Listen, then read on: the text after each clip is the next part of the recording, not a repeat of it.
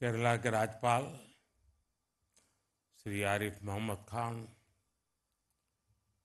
मुख्यमंत्री श्रीमान पिनाराई विजयन जी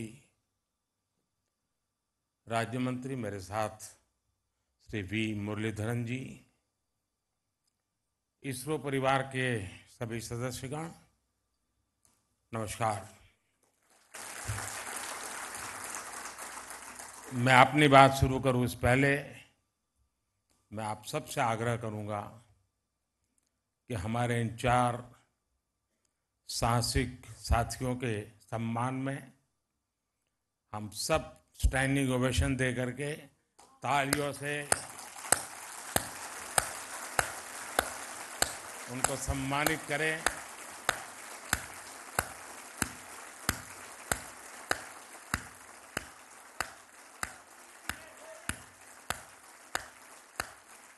भारत माता की। भारत माता की। भारत माता की। बहुत बहुत धन्यवाद। हर राष्ट्र की विकास यात्रा में कुछ क्षण ऐसे आते हैं, जो वर्तमान के साथ ही आने वाली पीढ़ियों को भी परिभाषित करते हैं। आज भारत के लिए ये ऐसा ही क्षण है। हमारी आज की जनरेशन बहुत सौभाग्यशाली है, जिसको जल, थल, नभ और अंतरिक्ष में ऐतिहासिक कामों का यश मिल रहा है। कुछ समय पहले मैंने अयोध्या में कहा था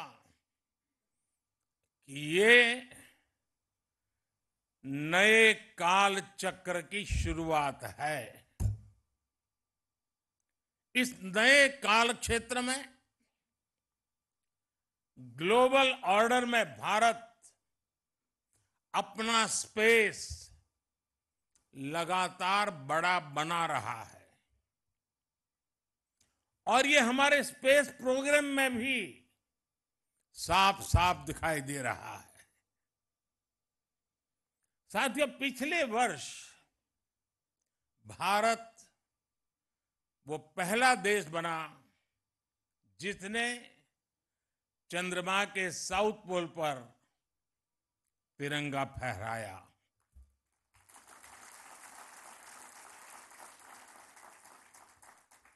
आज शिव शक्ति पॉइंट पूरी दुनिया को भारत के सामर्थ्य से परिचित करा रहा है। अब विक्रम साराभाई स्पेस सेंटर में हम सभी एक और ऐतिहासिक सफ़र के साक्षी बन रहे हैं। अब से कुछ देर पहले देश पहली बार अपने चार गगनयान यात्रियों से परिचित हुआ।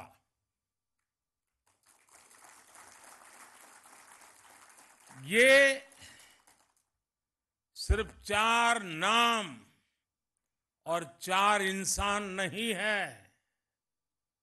ये 140 करोड़ एस्पिरेशंस को स्पेस में ले जाने वाली चार शक्तियाँ हैं।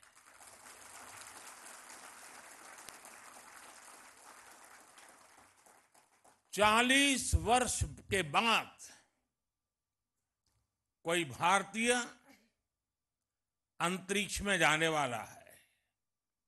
लेकिन इस बार टाइम भी हमारा है काउंट डाउन भी हमारा है और रॉकेट भी हमारा है।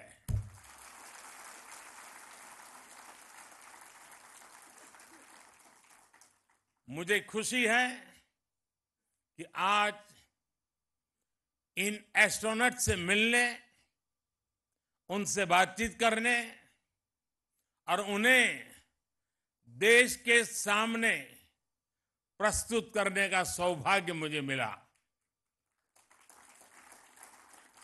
मैं इन साथियों को पूरे देश की तरफ़ से बहुत बहुत बधाई देता हूँ बहुत बहुत शुभकामनाएँ देता हूँ। 21वीं सदी के भारत की सफलता में आज आपका नाम भी जुड़ गया है। आप आज के भारत का विश्वास है। आप आज के भारत का शौर्य है। साहस है, अनुशासन है। आप भारत का गौरव बढ़ाने के लिए, अंतरिक्ष में तिरंगा रहना, लहराने के लिए, पिछले कई वर्षों से दिन रात परिश्रम कर रहे हैं। आप भारत की उस अमृत पीढ़ी के प्रतिनिधि है।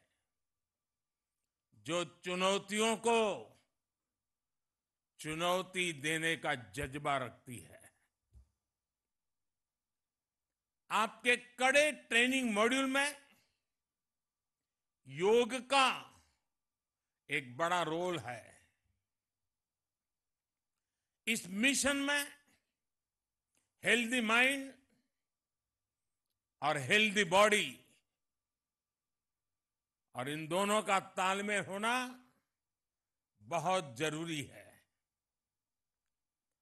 आप ऐसे ही जुटे रहिए, डटे रहिए। देश का आशीर्वाद आपके साथ है, देश की शुभकामनाएँ आपके साथ है।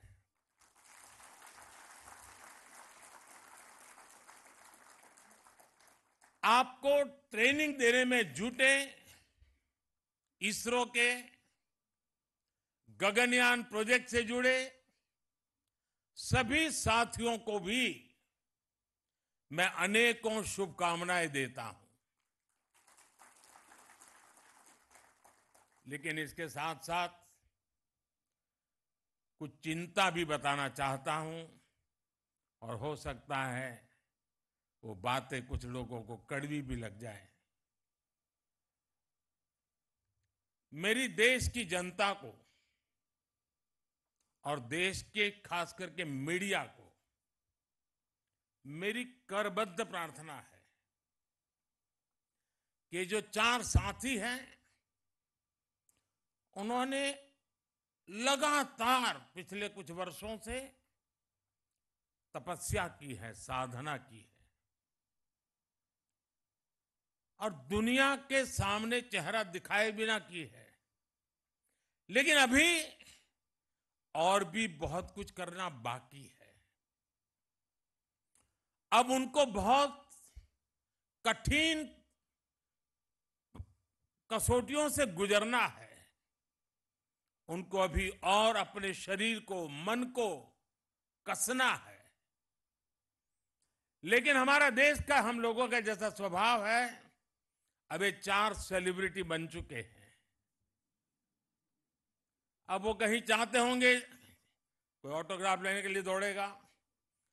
अब उसको सेल्फी भी चाहिए फ़ोटो भी चाहिए ऑटोग्राफ भी चाहिए।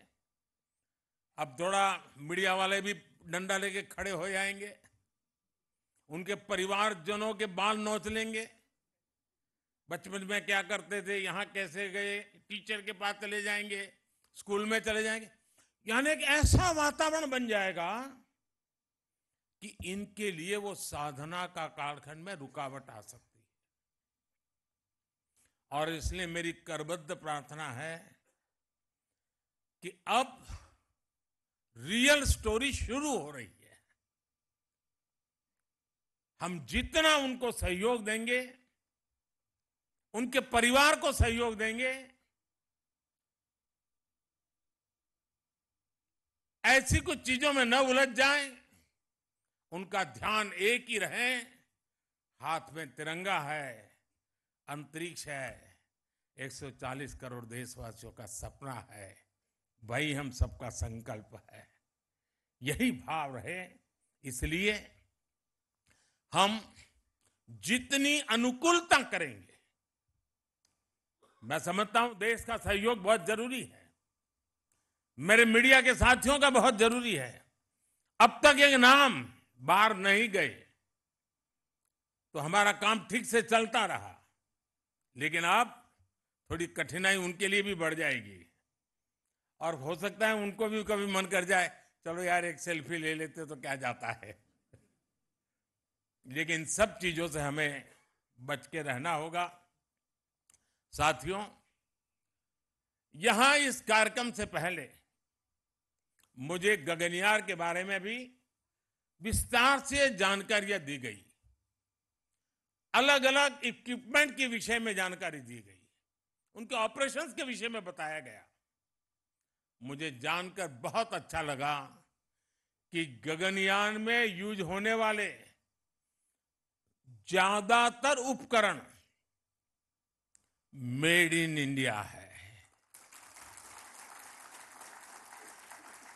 ये कितना बड़ा संयोग है कि जब भारत दुनिया की टॉप थ्री इकोनॉमी बनने के लिए उड़ान भर रहा है, उसी समय भारत का गगनयान भी हमारे स्पेस सेक्टर को एक नई बुलंदी पर ले जाने वाला है।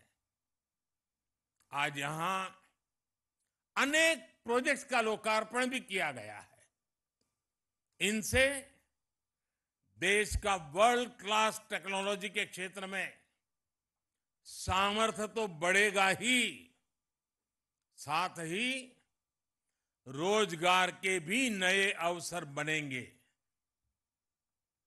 और साथियों, मुझे खुशी है कि हमारे स्पेस सेक्टर में विमेन पावर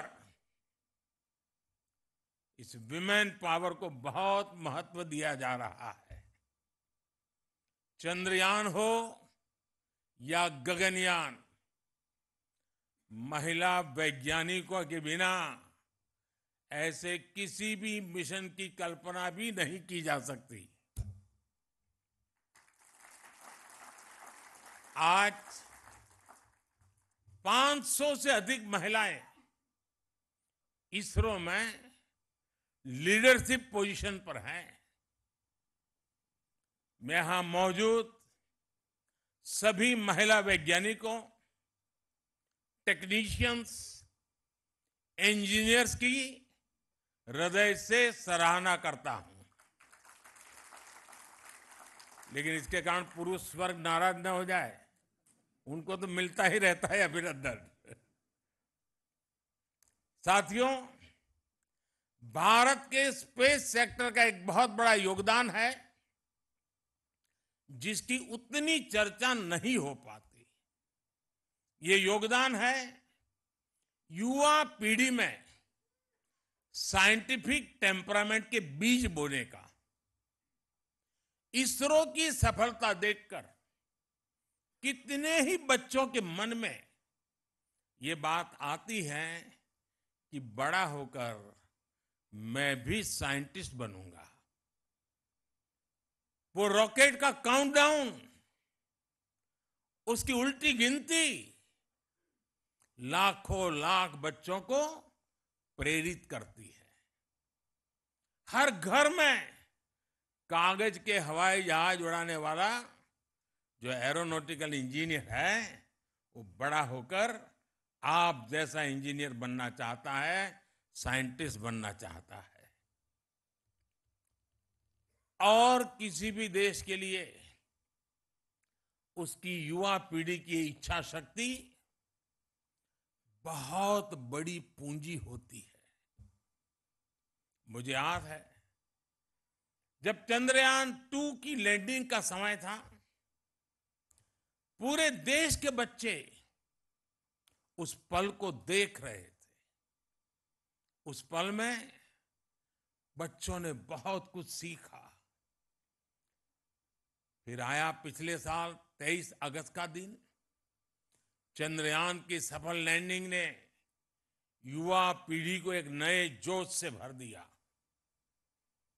इस दिन को हमने स्पेस डे के तौर पर मान्यता दी है। आप सभी ने देश को अपनी स्पेस जर्नी में भारत को उपलब्धियों के ऐसे एक से बढ़कर एक पल दिए हैं। स्पेस सेक्टर में हमने कई रिकॉर्ड बनाए हैं। पहले ही प्रयास में मंगल ग्रह तक पहुँचने की सफलता भारत को मिली। एक ही मिशन में सौ से अधिक सैटेलाइट लॉन्च करने वाला देश हमारा भारत है। चंद्रयान की सफलता के बाद भी आपने कई उपलब्धियाँ हासिल की। आपने आदित्य एल वन को पृथ्वी से 15 लाख किलोमीटर दूर सुरक्षित रूप से अपने ऑर्बिट तक पहुँचाया। है दुनिया के कुछ ही ऐसे देश ऐसा कर पाए हैं। 2024 को शुरू हुए अभी कुछ हफ़्ते ही हुए हैं। इतने कम समय में ही आपने एक्सपो सेट और इनसेट थ्री डी एस जैसी सफलता हासिल की है। साथियों, आप सभी मिलकर भविष्य के लिए नई संभावनाओं के द्वार खोल रहे हैं। अनुमान है कि आने वाले दस वर्षों में भारत की स्पेस इकोनॉमी पाँच गुना बढ़कर 44 बिलियन डॉलर तक पहुँच जाएगी। स्पेस के क्षेत्र में भारत एक बहुत बड़ा ग्लोबल कॉमर्शियल हब बनने जा रहा है। आने वाले कुछ वर्षों में हम चंद्रमा पर एक बार फिर जाएँगे।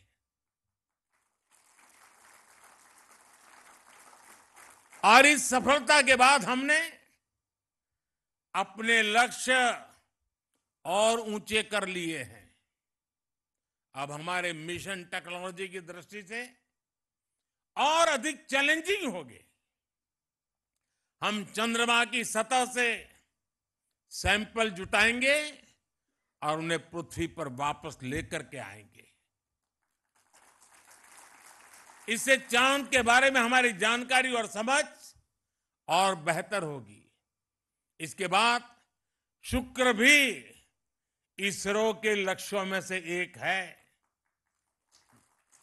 2035 तक अंतरिक्ष में भारत का अपना स्पेस स्टेशन होगा, जो हमें स्पेस के अज्ञात विस्तार को जानने में मदद करेगा।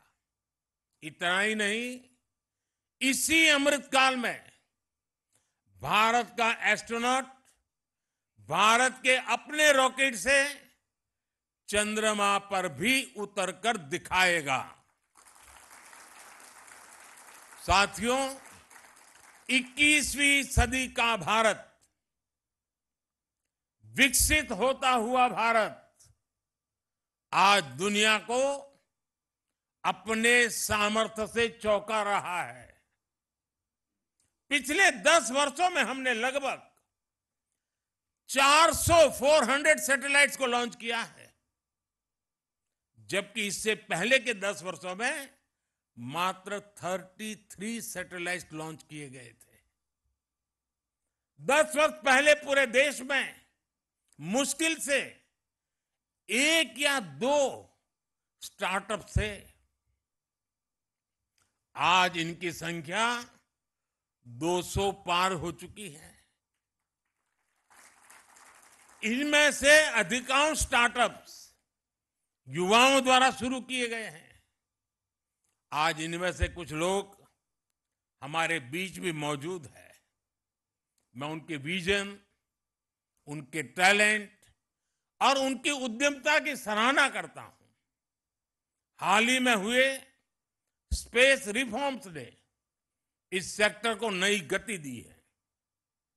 पिछले हफ़्ते ही हमने स्पेस में एफडीआई पॉलिसी भी जारी की है। इसके तहत स्पेस सेक्टर में 100 परसेंट फॉरेन इन्वेस्टमेंट को भी मंजूरी दे दी गई है। इस रिफॉर्म से दुनिया के बड़े बड़े स्पेस संस्थान भारत आ पाएँगे और यहाँ के युवाओं को पूरी दुनिया के सामने अपना टैलेंट दिखाने का मौका मिलेगा। साथियों हम सबने मिलकर 2047 तक भारत को विकसित राष्ट्र बनाने का संकल्प लिया है। इस संकल्प को सिद्धि तक पहुँचाने में स्पेस सेक्टर की भूमिका बहुत बड़ी है। और स्पेस साइंस सिर्फ़ रॉकेट साइंस नहीं है, बल्कि ये सबसे बड़ी सोशल साइंस भी है। स्पेस टेक्नोलॉजी से सोसाइटी को सबसे अधिक लाभ होता है। सबको लाभ होता है। आज हमारी डेली लाइफ में जो भी टेक्नोलॉजी यूज़ होती है, उसमें स्पेस टेक्नोलॉजी का बहुत बड़ा रोल है। खेती में फ़सल की देखरेख हो, मौसम की जानकारी हो, साइक्लोन और दूसरी आपदाएँ हो, सिंचाई के साधन हो गाड़ी चलाने में मदद करने वाली मैप हो। ऐसे अनेक काम सैटेलाइट डेटा से ही होता है। भारत के लाखों मछुआरों को नाविक द्वारा सटीक जानकारी मिलने के पीछे भी स्पेस की ताकत है। हमारे सैटेलाइट्स हमारे बॉर्डर को सेफ़ रखने में भी मदद करते हैं। तो दूर सुदूर इलाकों में एजुकेशन, कम्युनिकेशन और हेल्थ सर्विसेज़ पहुँचाने में भी वो भरसक मदद करते हैं। इसलिए विकसित भारत के निर्माण में आप सभी की, इसरो की, पूरे स्पेस सेक्टर की बहुत बड़ी भूमिका है। मैं एक बार फिर आप सभी को अनेक अनेक शुभकामनाएँ देता हूँ।